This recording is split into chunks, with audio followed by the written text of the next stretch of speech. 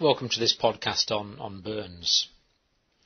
Burns are fairly common actually all over the world.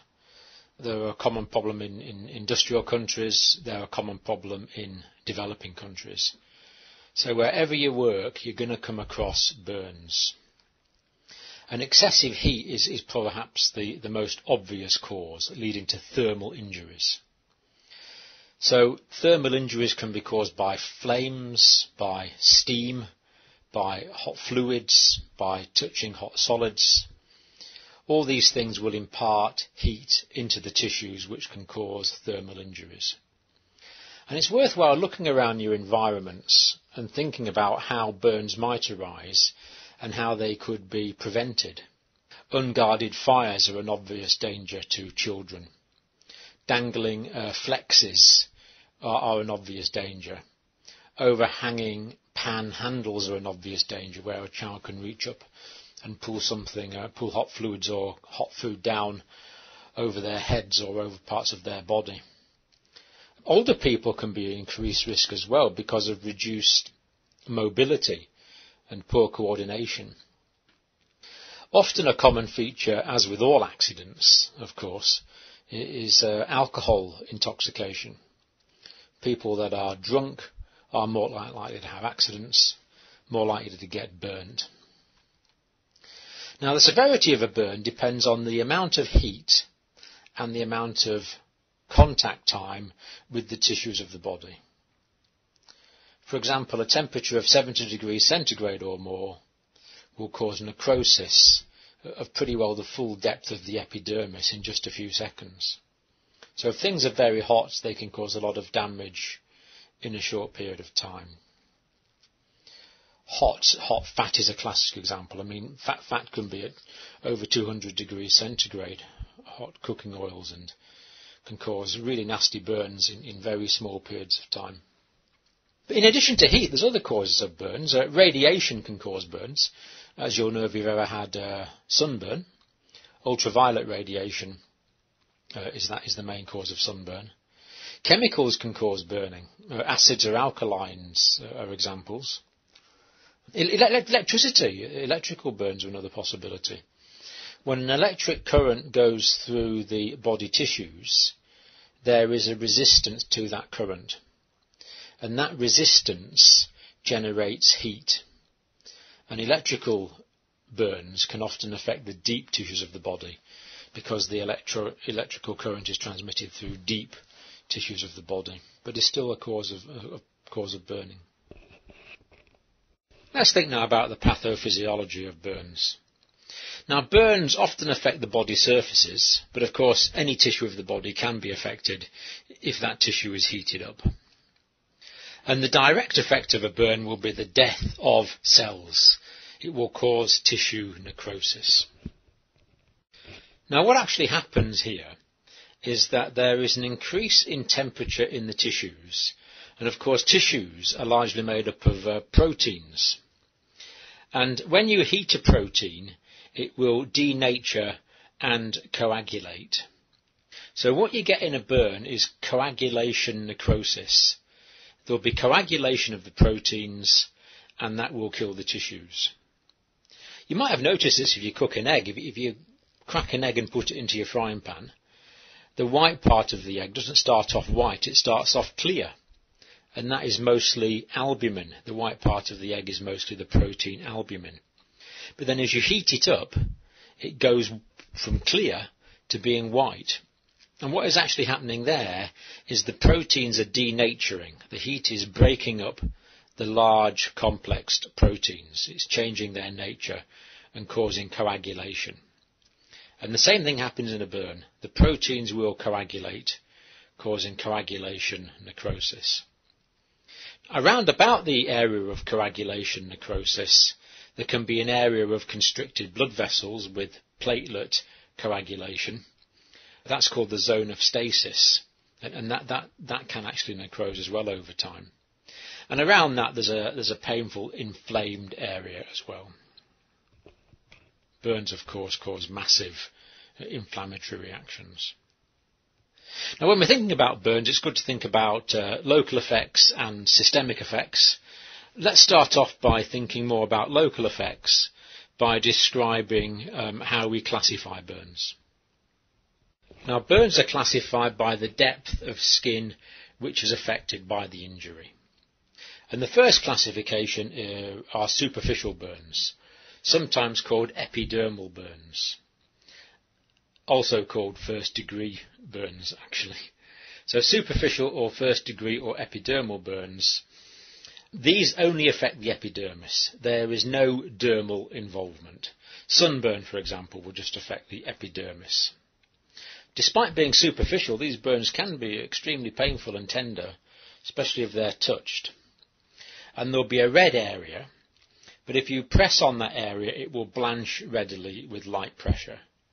And the reason it will blanch, the reason it will go white with pressure, is because you are squeezing the blood from the dermal blood vessels beneath.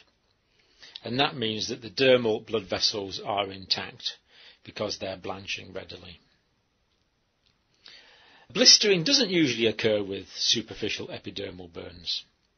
And usually they heal fairly rapidly. Because if you think about your anatomy, you've got the epidermis and you've got a germinative layer at the bottom of the epidermis.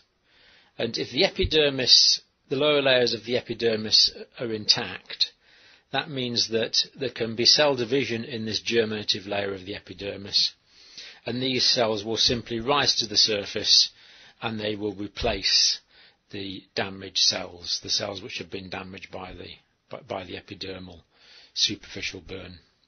So they heal fairly quickly, and they should heal with, well, they will heal with perfect cosmetic results. The skin will look just as good afterwards. If you burn it repeatedly, of course, with sunburn, for example, you can get progressive skin damage. But from a single episode, it's going to heal as the tissues regenerate from the germin- germinative layer of the epidermis beneath. Now, the next classification of burns are partial thickness burns. Partial thickness burns. And partial, partial thickness burns burn down into the dermis. So they can burn away all of the epidermis and start burning down into the dermis beneath. And uh, it's useful to classify, to subdivide this classification into superficial partial thickness burns and deep partial thickness burns. The deep partial thickness burns are also sometimes called deep dermal burns. So superficial partial thickness burns burn through the epidermis and can burn the top of the dermis Deep dermal burns will burn away a lot of the dermis. They are deep partial thickness injuries. Now the superficial partial thickness burns can be extremely painful because the nociceptors, the pain receptors, are in the dermis. And if you take away the epidermis, that means that the dermal pain receptors, the dermal nociceptors, are exposed and that can generate extreme amounts of pain.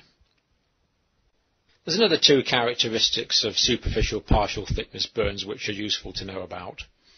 And one is that the tissues will still blanch if pressure is applied. So if you put a glass on top of the uh, burnt area and press on it, it will still go white, and then when you take your glass off, it will go red again, because the blood vessels lower down in the dermis are still intact. So they should still blanch readily. And another characteristic is that these burns generate blisters. Now a blister is a collection of fluid above the germinative layer of the epidermis. And because these areas have been damaged, you're going to get inflammatory fluids collecting in them. But because the integrity of the tissues is reduced, the tissues aren't going, aren't going to be sticking together as well, and the fluids can accumulate in tissue spaces, in the dead tissue.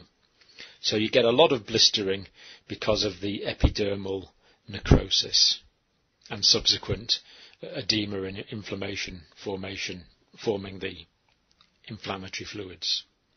Now, as long as these burns are well managed, they should heal very effectively within a couple of weeks, and they should heal with very good cosmetic results. So first of all, the fibroblasts and other cellular components of the dermis will undergo mitosis and secrete their structural products like their collagen and their elastic fibres and the ground substance. So the dermal tissue can regenerate. But as well as that, in the dermis you have sweat glands, and going deeper down into the dermis you have hair follicles. And the sweat glands, and especially the hair follicles, are lined with epidermal cells. So it's as if the epidermis dips way, way down in the hair follicles, which of course go down into the dermis and, and deep in the dermis and even, even slightly below the dermis. That they are deep structures.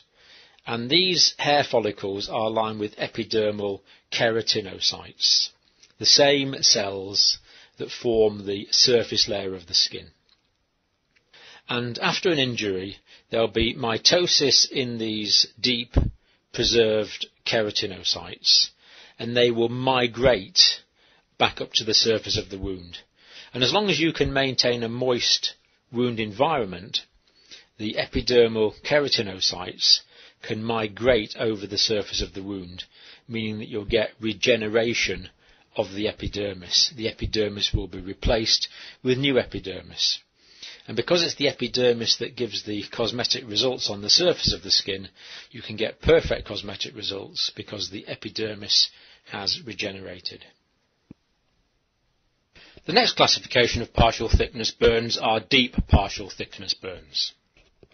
These are often called uh, deep dermal burns as well. And the burns extend down into the lower half of the dermis. And they can have very variable um, appearances. They might appear red or they might appear white. And uh, some have mottled red and white areas. But after a while, they won't blanch because many of the dermal capillaries have been lost. Actually, an acute deep dermal burn may, but after a while, after 24 hours or so, um, it, it, won't blanch because the capillaries are no longer intact. The, the, the capillaries have been necrosed with the rest of the tissue.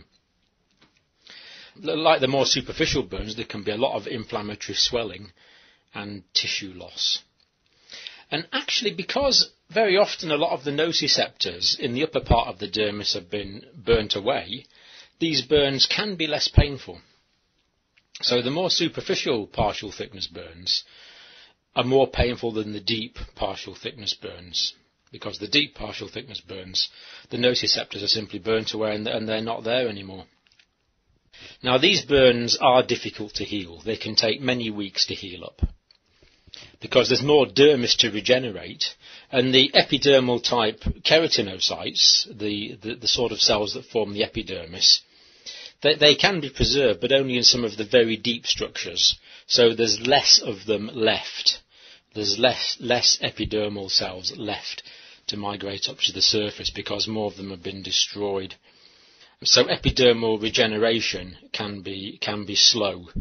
And in, in some areas it can be hardly present at all actually. And these wounds heal by, uh, there's a lot of granulation tissue and uh, fibrous uh, scars can develop. Infections are a common complication that can further delay healing as well.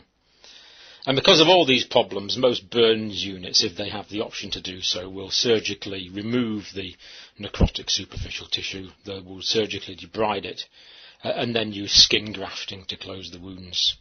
And if that's done, that's associated with a much better prognosis and, and way less likelihood of uh, infection developing. Now, the final classification of burns are full thickness burns, sometimes called third degree burns. And full thickness burns, as the name suggests, all of the thickness of the skin will be necrosed. So the epidermis and the dermis will be lost, and these wounds can even go down to underlying subcutaneous tissues. But the full thickness of the skin is lost. And that means all of the potentially regenerative elements of the dermis and the epidermis are gone. The burnt tissue undergoes coagulative necrosis and it forms just a layer of dead tissue called an eschar. An eschar is just this layer of dead skin. The skin's all been killed. It's all necrosed. And this is a very significant infection risk. So in burns units, they will surgically remove the eschar and use skin grafting. If the eschar is not surgically removed, it will probably fall off in two to three weeks anyway. But as I say, there's a very high infection risk associated with this dead tissue. And uh, full thickness injuries can appear white, sometimes they're black and charred or brown and leathery. And of course they don't blanch with pressure because all of the blood vessels in the dermis have been destroyed.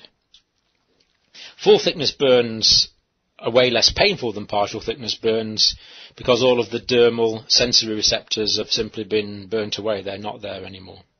Of course, there can be very uh, painful areas um, around about the outside of the burn. But in the full thickness area, the, the skin is insensitive to touch. The, the skin is dead. The skin doesn't feel pain anymore. But as I say, there can be pain from surrounding areas of partial thickness injuries.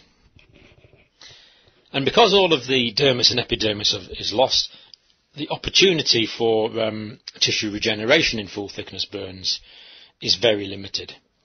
And as a result, these burns can only regenerate very slowly from intact skin around about the outside of the burn. And without intervention, they'll heal by granulation and fibrosis, leaving deformity and, and massive scar formation, which will give very poor cosmetic and functional results. And over time as well, the scars contract, which makes it even less, uh, even, even worse cosmetic results and even less functionality. So, if at all possible, Burns units will um, take away the dead skin and apply skin grafting, and that's uh, that, that's associated with, with, a good recovery rate if it's well done.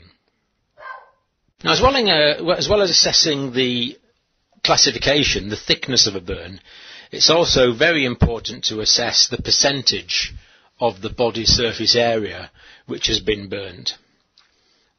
This is important for prognostic reasons and it's important for calculating fluid replacement.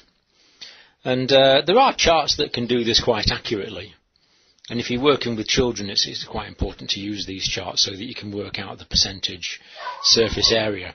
But with adults, there's, a nice, quick, ready reckoning way to do it. It's a bit approximate, but it's quite a useful rule to know about. And it's called the rule of nines. And uh, what this means is that the head is 9% of the body surface area, and arms are 9% of the body surface area each. The front of a leg is 9% and the back of a leg is 9%. In other words, the whole leg is 18%. The front of the torso is 18%, so half of the torso is 9%. And the back and the buttocks are also 18%, so half of that area would also represent 9%. So it's all 9, so it's kind of easy to remember. And another rough and ready way of reckoning the surface area of a burn is looking at the size of the patient's palm. And the size of the patient's palm is usually about 1% of body surface area.